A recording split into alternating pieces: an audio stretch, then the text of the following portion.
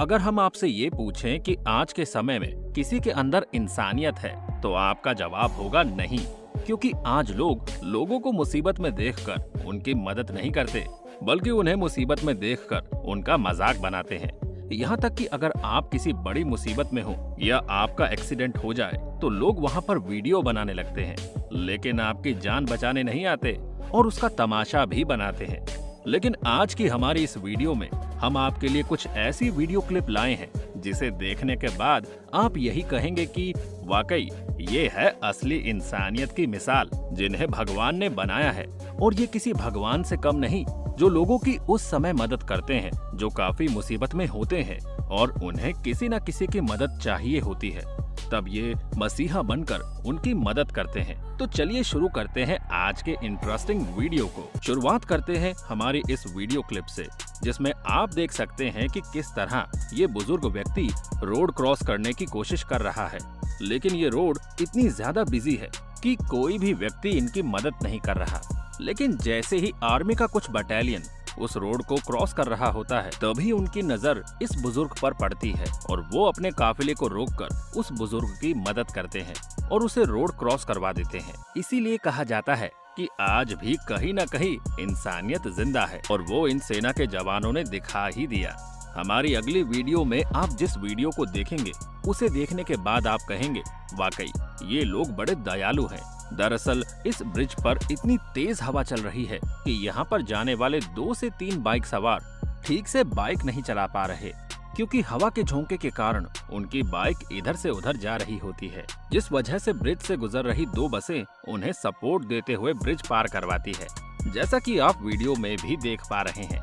आपने अक्सर छोटे बच्चों को बाल मजदूरी करते तो देखा होगा, और वो उस समय छोटी सी उम्र में इसलिए काम करते हैं ताकि वो अपने परिवार को संभाल सके। ऐसा ही एक वीडियो इंडोनेशिया का है, जहाँ ये छोटा सा बच्चा एयरपोर्ट पर न्यूज़पेपर बेच रहा होता है और थककर एक साइड आकर सो जाता है, लेकिन तभी एक व्यक्ति उसके पास आता है और उसे काफ़ी सारे पैसे देकर जाता है, जिसे देखकर वो बच्चा भी काफ़ी खुश हो जाता है।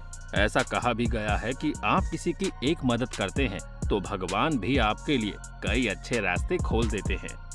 अब आप इस वीडियो क्लिप को भी ध्यान से देखिए, जिसमें ये महिला, जो कि एक मॉल में साफ़ सफ़ाई का काम करती है, हालाँकि इनके पास सामान खरीदने तक के पैसे नहीं होते, लेकिन जब ये ग्रोसरी सेल में सामान लेने पहुँचती है, तब वो शॉपकीपर को पैसे दे रही होती है।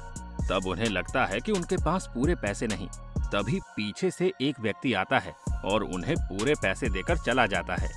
जिसे देखकर वो महिला रोने लगती है, क्योंकि उनके पास पूरे पैसे नहीं होते हैं तो वो ग्रोसरी सेलर उन्हें सामान नहीं देता, जिस वजह से उनकी आँखों में आँसू आ जाते हैं कि भगवान होते हैं और मुसीबत में वो हमारे साथ ही खड़े होते हैं। हालाँकि ये व्यक्ति काफ़ी दयालु था। दोस्तों, माँ एक ऐसा शब्द है, जिसे सुनने के बाद हर कोई इमोशनल हो जाता है। और इसके पीछे की वजह ये है कि माँ जैसा पूरी दुनिया में कोई नहीं होता।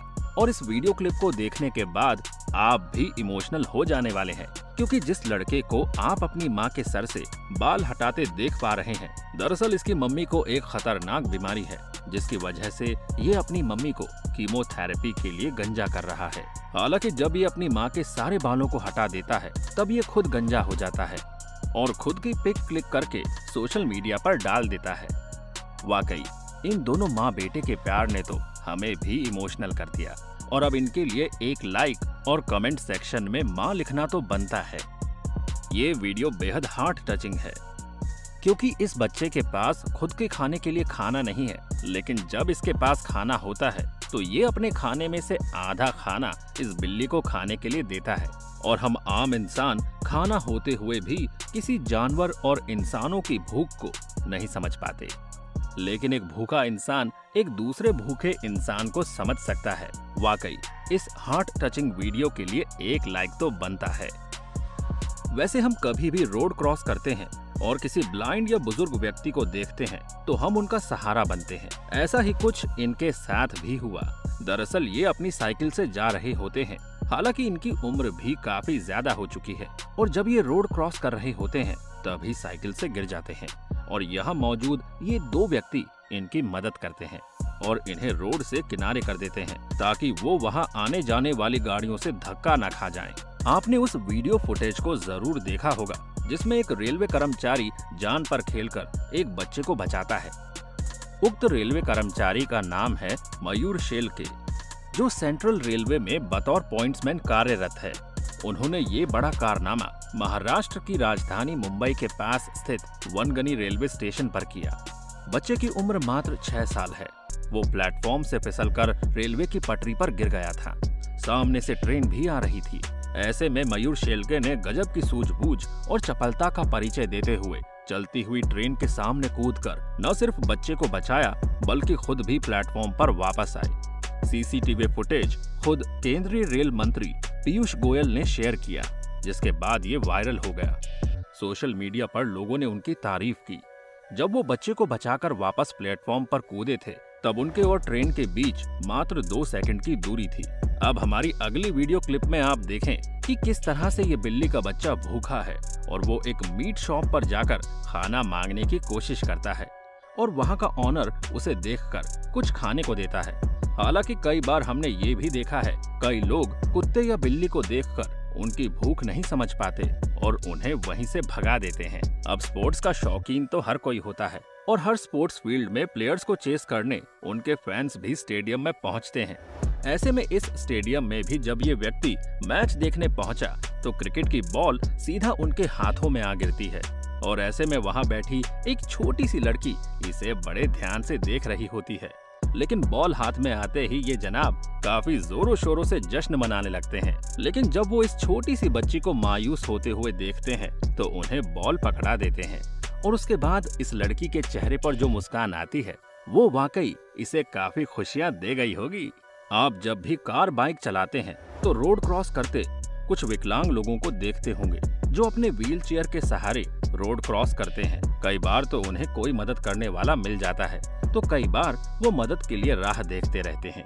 और ऐसे में जब ये बुज़ुर्ग व्यक्ति रोड क्रॉस करने के लिए राह देख रहा होता है, तभी पास से आ रही कार में से ये जनाब उतरकर उन्हें रोड क्रॉस करवाने में उनकी मदद करते हैं।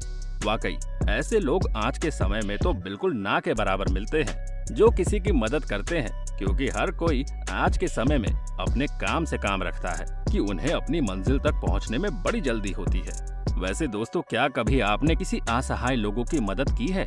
और उस मदद से आपको काफ़ी खुशी हुई हो? ऐसा लगा हो कि आपने जो किया है, वो सही था। और ऐसा करके आपने काफ़ी अच्छा काम किया है।